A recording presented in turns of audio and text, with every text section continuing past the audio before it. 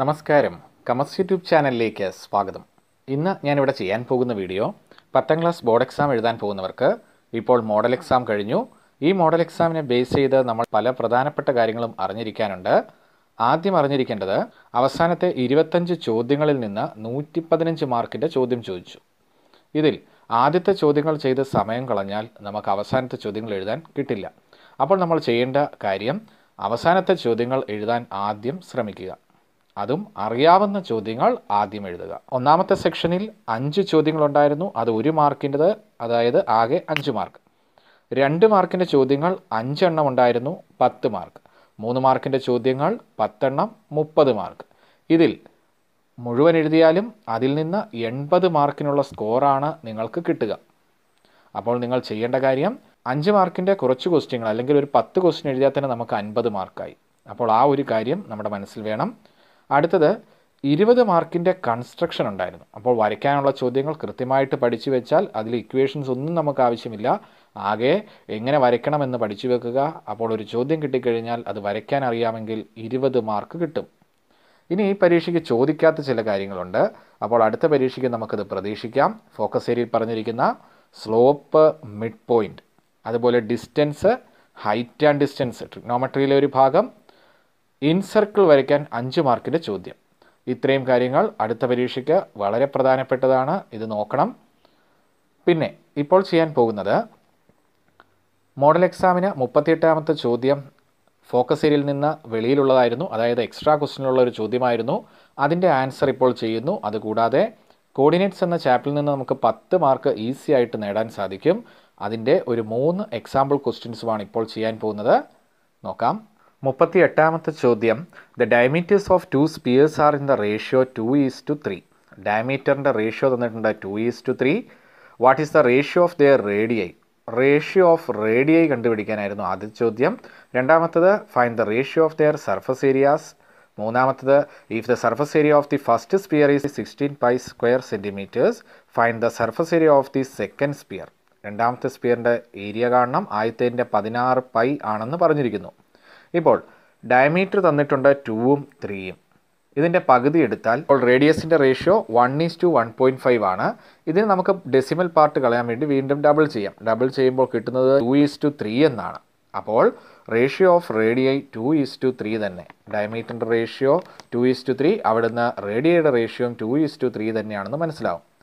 Surface ഏരിയയുടെ ratio കാണാൻ ചോദിച്ചിരിക്കുന്നു. അതിന് ഫോർ പൈ ആർ സ്ക്വയർ ആണ് ഇക്വേഷൻ. അവിടെ ആർ വൺ എന്നും ആർ ടു എന്നും ഇട്ട് കൊടുത്തു കഴിയുമ്പോൾ ഇവിടെ ഫോർ പൈ ക്യാൻസൽ ആവുന്നു. മിച്ചമുള്ളത് ആർ വണ്ണിന്റെ സ്ഥാനത്ത് ടു എന്നും ആർ ടുവിന്റെ സ്ഥാനത്ത് ത്രീ എന്നും വിട്ടാൽ two square is to three square. Answer four is to nine എന്ന് കിട്ടും. അടുത്തത് ഫസ്റ്റിന്റെ സർഫസ് ഏരിയ തന്നിട്ടുണ്ട്. രണ്ടാമത്തേന്റെ കണ്ടുപിടിക്കണം. ആദ്യത്തെ സർഫസ് ഏരിയ സിക്സ്റ്റീൻ പൈൻ തന്നിരിക്കുന്നു. രണ്ടാമത്തേത് കണ്ടുപിടിക്കണം. Ratio four is to nine ആണ്. അതിപ്പോൾ നമ്മൾ കണ്ടുപിടിച്ചു. അതായത് sixteen pi by S two is equal to four by nine ഇത് ക്രോസ് മൾട്ടിപ്ലൈ ചെയ്ത് കഴിയുമ്പോൾ four S two is equal to sixteen pi into nine എന്ന് കിട്ടും. ഫോർ കൊണ്ട് ഡിവൈഡ് ചെയ്യുമ്പോൾ S two is equal to ഇവിടെ ഫോർ കൊണ്ട് സിക്സ്റ്റീനെ ക്യാൻസൽ ചെയ്യുന്നു. അപ്പോൾ മിച്ചം ഫോർ പൈ എന്ന് വരും. Four pi into nine thirty six pi square centimetre ആണ് രണ്ടാമത്തതിന്റെ ഏരിയ അടുത്തത് ഇപ്പോൾ ചെയ്യാൻ പോകുന്നത് കോർഡിനേറ്റ്സ് എന്ന ചാപ്റ്ററിൽ നമുക്ക് വളരെ ഈസിയായി പത്ത് മാർക്ക് നേടാൻ സാധിക്കും. ഇവിടെ എക്സ് വൈ ആക്സിസ് വരച്ച പോയിന്റുകളൊന്ന് മാർക്ക് ചെയ്താൽ മതിയാവും. ഒന്നാമത്തെ ചോദ്യം നോക്കുക. Draw coordinate axis B mark one point each on X and Y axis and write their coordinates X ആക്സിലും Y ആക്സിലും ഓരോ പോയിന്റ് സെലക്ട് ചെയ്യുക എന്നിട്ട് അതിന്റെ കോർഡിനേറ്റ് എഴുതാനാണ് രണ്ടാമത്തെ ചോദ്യം. മൂന്നാമത് draw a line parallel to Y axis through the first point another line parallel to X axis through the second point D write the coordinate of the point on intersection of these two lines ഈ രണ്ട് ലൈനും കൂട്ടിമുട്ടുന്ന point ഏത് എന്നും ചോദിച്ചിരിക്കുന്നു. ഇതിന്റെ answer നോക്കുക. ഈ X ആക്സിസും Y ആക്സും വരയ്ക്കുന്നു. കൃത്യമായിട്ട് ഈ പോയിന്റുകൾ മാർക്ക് ചെയ്യാൻ പഠിക്കണം. അതിനുശേഷം ഞാനൊരു പോയിന്റ് ഇവിടെ സെലക്ട് ചെയ്തു. ടു എക്സ് ആക്സിലെ ടു എന്ന പോയിന്റിന്റെ കോർഡിനേറ്റ് ടു സീറോ ആണ്. വൈ ആക്സിൽ ഞാനൊരു പോയിന്റ് എടുത്തു ത്രീ അതിന്റെ കോർഡിനേറ്റ് എഴുതുമ്പോൾ സീറോ ത്രീ എന്ന് എഴുതണം. കാരണം വൈ ആക്സിലെ ഏത് പോയിന്റ് എടുത്താലും ആദ്യത്തേത് അതായത് എക്സ് കോർഡിനേറ്റ് സീറോ ആയിരിക്കും. അപ്പോൾ സീറോ ത്രീ ടു സീറോ ഇതിൽ കൂടി പാസ് ചെയ്യുന്ന ലൈൻസ് വരയ്ക്കാൻ പറഞ്ഞിട്ടുണ്ട്.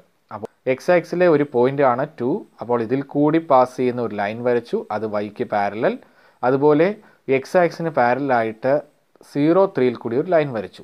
ഇതിനിടെ കൂട്ടിമുട്ടിയ പോയിന്റാണ് അതിനെ ഞാൻ പി എന്ന് വിളിച്ചിരിക്കുന്നു. ഈ പിയുടെ പൊസിഷൻ എത്ര മുന്നോട്ട് വന്നു നോക്കുക. രണ്ട്. പൊക്കം മൂന്നാണ്. അപ്പോൾ പൊസിഷൻ ടു ഇതാണ് ലാസ്റ്റ് ഭാഗമായിട്ട് ചോദിച്ചിരിക്കുന്നത്. Write the coordinate of the point of intersection of these two lines ഈ രണ്ട് ലൈൻസും കൂട്ടിമുട്ടുന്ന പോയിന്റ് എഴുതാൻ ചോദിച്ചിരിക്കുന്നു. ഇത് നാല് മാർക്ക് വരെ നമുക്ക് പ്രതീക്ഷിക്കാവുന്ന ഒരു ചോദ്യമാണ്. രണ്ടാമത്തെ ചോദ്യം draw coordinate axis B draw a circle with centre as origin and radius three C write the coordinate of points when it cut the coordinate axis circle coordinate ആക്സിസിനെ cut ചെയ്യുന്ന പോയിന്റുകൾ ഏതെന്നും ചോദിച്ചിരിക്കുന്നു. ഇവിടെ ആൻസർ ചെയ്തിരിക്കുന്നത് നോക്കുക. ആദ്യത്തത് എക്സ് ആക്സും Y ആക്സും വരച്ചു. Origin സെന്ററായിട്ട് three unit അതായത് കോമ്പസിൽ three centimetre എടുത്ത് ഒരു സർക്കിൾ വരച്ചിരിക്കുന്നു. ഇത് ആക്സിസിനെ എവിടെയൊക്കെ കട്ട് ചെയ്യുമെന്ന് ചോദിച്ചിരിക്കുന്നു. ഇവിടെ ഈ പോയിന്റ് ത്രീ സീറോ ഇത് മൈനസ് ത്രീ സീറോ മുകളിലുള്ള അതായത് വൈ വൈ ആക്സിസിലെ പോയിന്റാണ് സീറോ ത്രീ താഴെ സീറോ മൈനസ് ത്രീ ഈ നാല് പോയിന്റുകൾ നമുക്ക് പറയാം. മൂന്നാമത്തെ ചോദ്യം draw coordinate axis coordinate axis എന്നാൽ എക്സ് ആക്സിസും വൈ ആക്സിസും വരയ്ക്കാനാണ് mark point three four three four എന്ന പോയിന്റ് മാർക്ക് ചെയ്യാൻ ആവശ്യപ്പെട്ടിരിക്കുന്നു. അതായത് എക്സ് ആക്സും വൈ ആക്സും വരച്ച് ത്രീ ഫോർ മാർക്ക് ചെയ്യുന്നു. Draw a circle with centre as origin origin centre ആയിട്ട് ത്രീ ഫോറിൽ കൂടി പാസ് ചെയ്യുന്ന ഒരു സർക്കിൾ വരയ്ക്കണം. അപ്പോൾ ഒറിജിൻ സെന്റർ ആയിട്ട് കോമ്പസ് ത്രീ ഫോർ എന്ന് പറയുന്ന പോയിന്റ് വരെ വെച്ച് ഒരു സർക്കിൾ വരയ്ക്കുന്നു. ഫൈൻഡ് ദ റേഡിയസ് അതിന്റെ റേഡിയസ് കാണാൻ ആവശ്യപ്പെട്ടിരിക്കുന്നു. റേഡിയസ് എന്നത് ഈ ഡിസ്റ്റൻസ് ആണ്. അത് കാണാൻ three square plus four square എന്നിട്ട് റൂട്ട് എടുത്താൽ മതിയാവും. അതായത് ഒറിജിനിൽ നിന്നുള്ള ഡിസ്റ്റൻസ് കാണാൻ ഇക്വേഷൻ ഇതാണ് root of X square plus Y square three square plus four square nine plus sixteen അപ്പോൾ റൂട്ട് ട്വന്റി ഫൈവ് എന്ന് വരും. ആൻസർ നോക്കുക. Root twenty five five unit ആണ് റേഡിയസ് അടുത്ത ചോദ്യത്തിൽ പറഞ്ഞിരിക്കുന്നത് അടുത്ത ചോദ്യത്തിൽ പറഞ്ഞിരിക്കുന്നത് are minus three four and minus three minus four points on the circle ഇത് സർക്കിളിലെ പോയിന്റുകളാണോ എന്നറിയണം അതിന് ഒറിജിനിൽ നിന്നുള്ള ഡിസ്റ്റൻസ് ഫൈവ് ആണെങ്കിൽ അത് സർക്കിളിലായിരിക്കും നോക്കാം. ഒറിജിനിൽ നിന്ന് minus three ഫോറിലോട്ടുള്ള distance root of minus three square plus four square ചെയ്ത് കഴിയുമ്പോൾ റൂട്ട് ട്വന്റി ഫൈവ് അത് ഫൈവ് എന്ന് തന്നെ കിട്ടി. അപ്പോൾ സർക്കിളിലാണ് രണ്ടാമത്തെ point minus three minus four അതും സ്ക്വയർ ചെയ്ത് കഴിയുമ്പോൾ റൂട്ട് ട്വന്റി ഫൈവ് അതായത് ഫൈവ് എന്ന് കിട്ടും. ആ പോയിന്റും അപ്പോൾ ഓൺ ദ സർക്കിൾ ആണ്. ഇനി മറ്റ് രണ്ട് പോയിന്റുകൾ എഴുതാൻ ആവശ്യപ്പെട്ടിരിക്കുന്നു. ഇത് ഫൈവ് യൂണിറ്റ് ആണ് ഒറിജിനിൽ നിന്ന് അപ്പോൾ ഈ ഫിഗറിൽ നിന്ന് കൃത്യമാണ്. ഒറിജിനിൽ നിന്ന് അഞ്ച് യൂണിറ്റ് അകലെയുള്ള എക്സ് ആക്സിലെ ഒരു ആണ് ഫൈവ് സീറോ പുറകിൽ മൈനസ് ഫൈവ് സീറോ താഴെ സീറോ മൈനസ് ഫൈവ് മുകളിൽ സീറോ ഫൈവ് അപ്പോൾ നാല് പോയിന്റുകളായി ഒരെണ്ണം എഴുതാനാണ് ചോദിച്ചിരിക്കുന്നത്. ആൻസേഴ്സ് നോക്കുക. Five zero minus five zero zero five zero minus five ഇങ്ങനെ ഏത് പോയിന്റ് വേണമെങ്കിലും നമുക്ക് എഴുതാം. ഇപ്പോൾ ചെയ്തത് പത്താം ക്ലാസ് ബോർഡ് എക്സാം എഴുതാൻ പോകുന്നവർക്ക് കോർഡിനേറ്റ്സ് എന്ന ചാപ്റ്ററിലെ വളരെ പ്രധാനപ്പെട്ട മൂന്ന് ചോദ്യങ്ങളായിരുന്നു. ഈ ചോദ്യങ്ങൾ പഠിച്ചു വെക്കുക പരീക്ഷയ്ക്ക് വളരെ പ്രധാനപ്പെട്ടത് തന്നെയാണ്.